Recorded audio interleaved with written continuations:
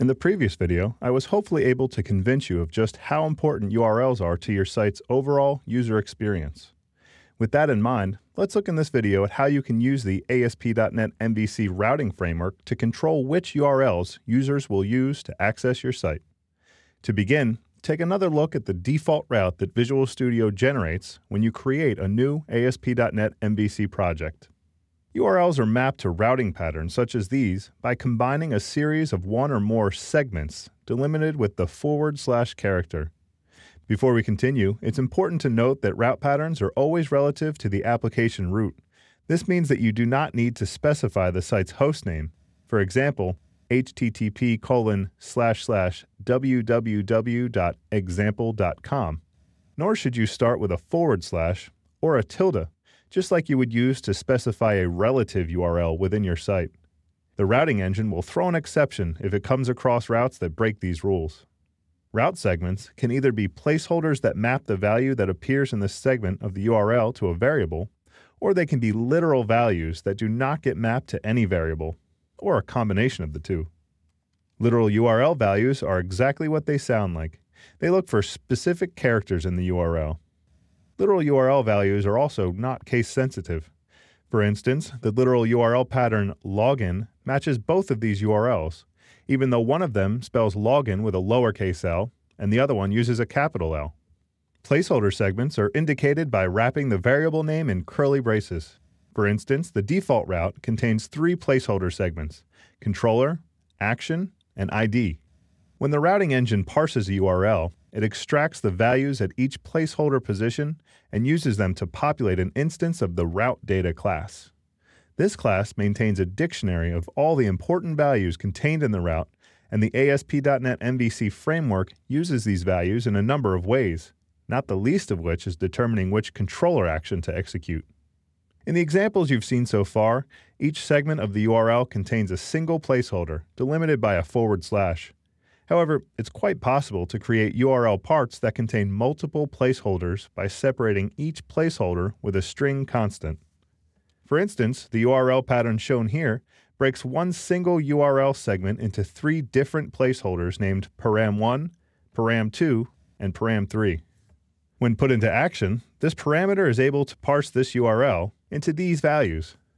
As these routing pattern examples demonstrate, route patterns can be as short or as long as you'd like.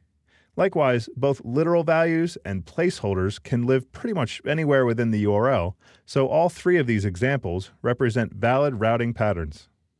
It's also important to know that values added to the dictionary are converted to strings by default. In the case of the default route, this means that if the URL contains numbers, such as the URL shown here, the 123 in this case would be saved as a string value instead of a numeric value. This is rarely a problem, however, since ASP.NET MVC offers plenty of helpful ways to convert these strings into whatever type you need, as I'll demonstrate in later chapters. As your application becomes more complex, you are likely to want to register multiple routes. When you do this, it is important that you consider the order in which you register them. When the routing engine attempts to locate a matching route, it simply enumerates the collection of routes in the order they were registered and stops as soon as it finds the first match. This behavior can cause plenty of headaches if you're not expecting it. Consider the following two routes.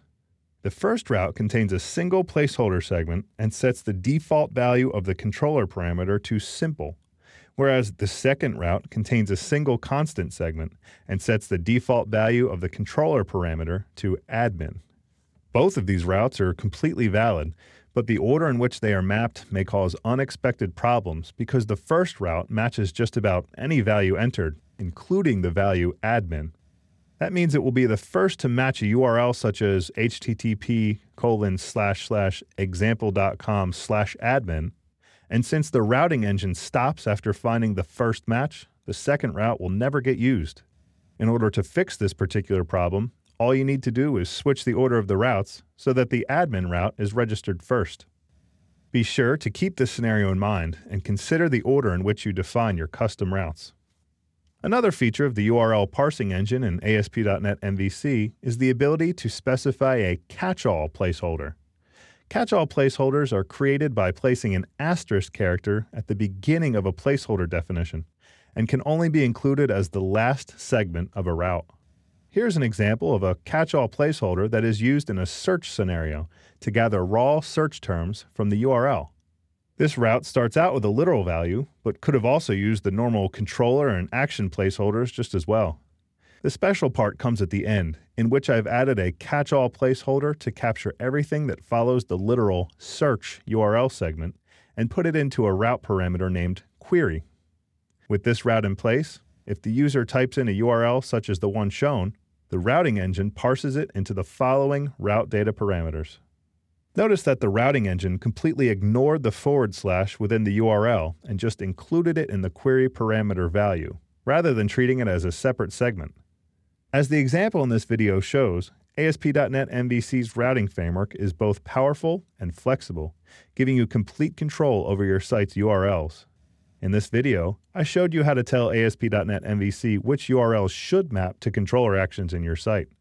But in the next video, I'll show you how to tell ASP.NET MVC which URLs you want to avoid mapping to your site.